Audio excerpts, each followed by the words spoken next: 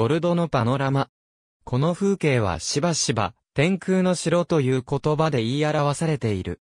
ゴルドは、フランス、プロバンスアルプコートダジュール地域圏、ボクリューズ県のコミューン。リュベロン地域圏自然公園の中で、最も訪問者が多い場所である。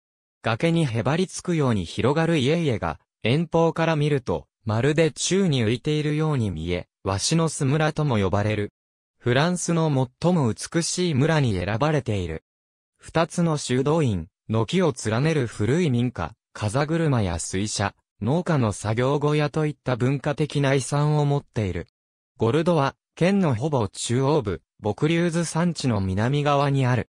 岩だらけのカラボン谷の頂上であり、リュベロン山地と向かい合っている。アビニョンの東約 38km の地点にある。水の豊富なボクリューズ山地にあり、地下を流れる清流がいくつかある。地中海性気候である。南側から吹くミストラルは1年の1、3やまない。日照時間が長く、1年のうち300日は晴天である。逆に曇りや雨の日は数えるほどである。雪は全く稀だが、1年に3日ほど降ることがある。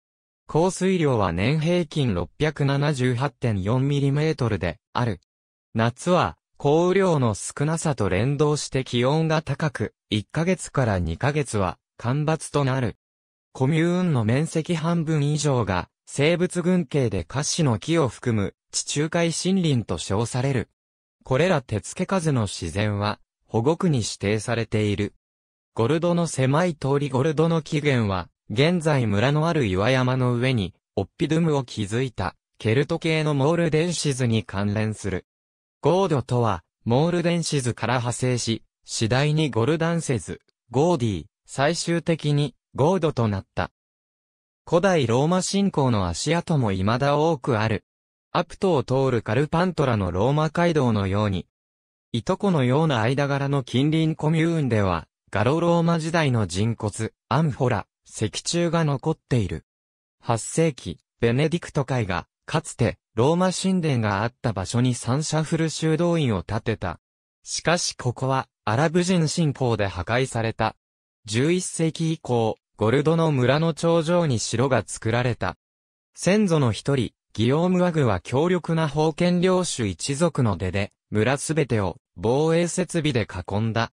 1031年11月30日には検証を授かった。彼の後継者たちは、ノビレカストルムに補強を施し、近隣に数多くある城の中で有名になった。ユグノー戦争中に、フランソはドボーモンが包囲したが無駄に終わった。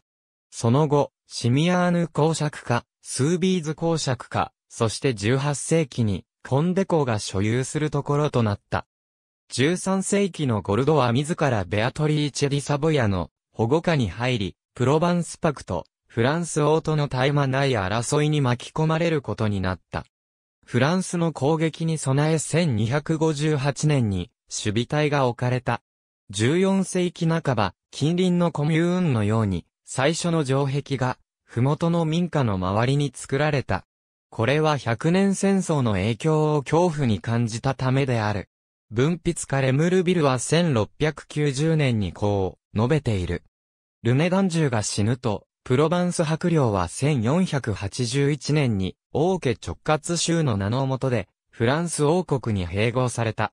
暴動が、シミアーヌ、フォルカルキエ、アグーといったかつてのプロバンス伯領、フォルカルキエ伯領で発生した。ゴルドは反フランス州権の主張を明確にし、独立を声高に主張した。一年後、ルネダン中の子ジャックは、ゴルド男爵の称号を得た。その後、彼の子孫たちは、荘園から男爵領への返還を明文化した文面なしにゴルド男爵領を維持し続けた。1148年に現立使徒会が建てたセナンク修道院が1544年にワルドー派によって放火された。ゴルドは教皇庁が当時あったアビニョンに地理的に近いというのに大胆不敵にも宗教改革を受け入れたコミューンの一つとなった。1615年、ルイ13世は、長身、ギオームド・ゴルドー公爵に取り立てた。1709年、オリーブを含む作物の不作で、住民は冬に飢餓に苦しんだ。1720年に、マルセイユに上陸した黒死病は、同じ年のうちに、プロバンスやブナス山全体に広がった。18世紀の半ばから、補修の必要な城壁は、次第に、人の手が入らず、荒れ果てていった。1755年には、墓地が、過去位置の中から、現在の場所へ移された。18世紀終わりから19世紀半ばまで、産業が盛んになって人口が増加した。アカネ科のルビア、オリーブ、アーモンド、イチジクがゴルドの畑で栽培された。養蚕も行われた。手工芸の分野では、多くの染色業者や靴作り職人がやってきて、正確産業が仕事を生み出した。ゴルドで産出される原材料としては、ゴルド石が知られている。19世紀終わりから20世紀初めにかけ、リュベロン地方を地震が数回襲い、ゴルドも家屋が壊れるなど被害を受けた。第二次世界大戦中、ゴルドはレジスタンス運動の中心となり、戦後にクロワ・ド・ゲール勲章を受けた。ドラグーン作戦で連合国軍が南フランス沿岸に上陸した一週間後の1944年8月21日、警戒中のパトロールが狙撃された。このために翌日、村は苛烈な報復行為の犠牲者となった。8月22日、ドイツ兵たちは隠れ家へ行くことのできなかった、わずかな人々を家から引きずり出した。まず追っ手がやってこないよう村の入り口を塞ぎ、高坂所をブロックした上で、ベルエールの岩の反対側に、カノン砲を据えて、村を砲撃した。12軒の住宅が砲撃で破壊され、別の家々は放火された。この報復措置で20軒の住宅が破壊された。戦後の復興時代、1947年に、マルク・シャガールや、ジャンデロールがゴルドを発見し、セルジュ・ポリヤコフ、ビクトル・バサルリ、ジャンド・ワンといった友人たちを連れてきた。さらに近年は、観光業や不動産が、コミューン経済の中心となっている。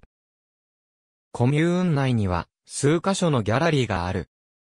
ゴルドの音楽祭プロバンスに輝く天空の城、フランスで最も美しい村、ゴルドハット、ゴードノーツ D、イストワールパールジーン、ルイスマランページ9、ゴードノーツ D、イストワールパールジーン、ルイスマランページ39は53、イストワールデセイントシャフレット、ゴードノーツ D、イストワールパールジーン、ルイスマランページ249は253レ。